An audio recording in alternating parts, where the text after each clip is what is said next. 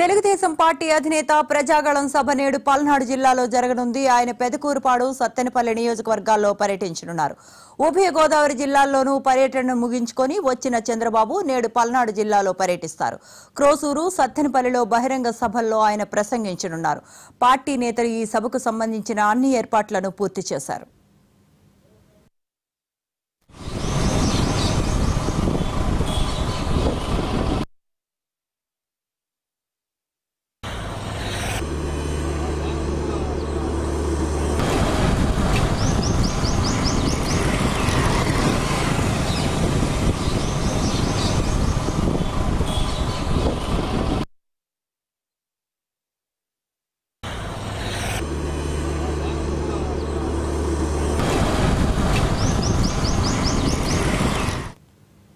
ప్రజాగళం పేరిట చంద్రబాబు వరుసగా నియోజకవర్గాలను చుట్టారు. అందులో భాగంగా నేడు పల్నాడు జిల్లాలో పర్యటించనున్నారు. అభ్యర్థులతో కూడా సమావేశమై రానున్న ఎన్నికల్లో అనుసరించాల్సిన వ్యూహాలపై దిశానిర్దేశం చేయనున్నారు.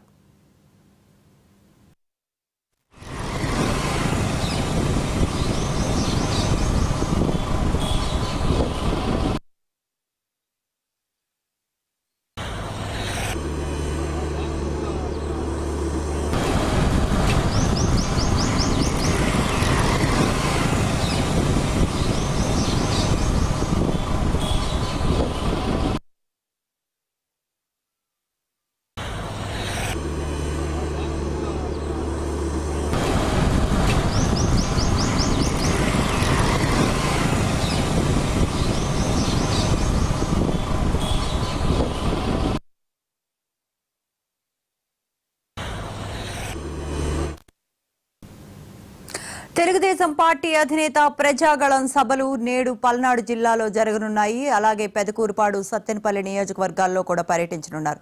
ఈ పర్యటనలకు సంబంధించిన మరిన్ని అప్డేట్స్ మా కరెస్పాండెంట్ రాజేష్ అందిస్తారు. Rajesh good morning. ప్రజాగళం సభ కార్యక్రమంలో భాగంగా ఈరోజు పల్నాడు జిల్లాకి మా ప్రతిపక్ష నేత మాజీ సీఎం చంద్రబాబు నాయుడు వస్తున్నాడు. రెండు చోట్ల ఈ సభలు ఈ రోజు నిర్వహించున్నారు మొదట పెదకూరపాడు నియోజకవర్గంలో క్రోసూరు మండల కేంద్రంలో ఈ సభ నిర్వహిస్తున్నారు. ఇది సాయంత్రం నాలుగు గంటల సమయం సమయంలో ఈ సభ నిర్వహిస్తారు. నాలుగు గంటల నుంచి ఐదు గంటల మధ్య ఈ సభ అనేది జరుగుతుంది. ఈ సభ నిర్వహణకు సంబంధించి సుమారు లక్ష మంది పైగా ఆ, కేడర్ అదేవిధంగా ప్రజలు హాజరవుతారని ఒక అంచనా వేస్తున్నటువంటి పరిస్థితి అయితే ఉంది. సభా నిర్వహణ ఏర్పాట్లు మొత్తం కూడా పెదకూరపాడు టీడీపీ అభ్యర్థిగా ఉన్నటువంటి భాష్యం ప్రవీణ్ దగ్గరుండి పరిశీలిస్తున్నారు. దాదాపు ఈ సభకు మూడు రోజుల నుంచి కూడా ప్రత్యేక ఏర్పాట్లు చేస్తున్నటువంటి పరిస్థితి. పెద్ద ఎత్తున క్రౌడ్ వచ్చే అవకాశం ఉంది. ఎన్నికల సమయంలో ఆ, మరొక వైపు టీడీపీ వైసీపీ వ్యతిరేక పవనాలు వీస్తున్న నేపథ్యంలో టీడీపీ కార్యక్రమాలకు పెద్ద ఎత్తున క్రౌడ్ హాజరవుతున్న నేపథ్యంలో ఎలాంటి అవాంఛనీయ సంఘటనలు జరగకుండా భారీ ఏర్పాట్లు చేసినటువంటి పరిస్థితి అయితే ఉంది. దీంతో పాటు ఇప్పుడు టీడీపీకి జనసేన అదేవిధంగా బీజేపీ కూడా యాడ్ అవ్వడంతో మరింత ఈ క్రౌడ్ మరింత పెరిగిద్ది అనే ఒక అంచనాకైతే వచ్చినటువంటి పరిస్థితి ఉంది. మరొక వైపు ఈ పెద్దకూరపాటు సభ అనంతరం రోడ్డు మార్గాన సత్తనపల్లి చంద్రబాబు నాయుడు సత్తనపల్లి చేరుకున్నారు. సత్తనపల్లిలో ఆ, సాయంత్రం ఆరున్నర ఆ, సమయంలో సభ ఉంటుంది ప్రజాకాలం సభ.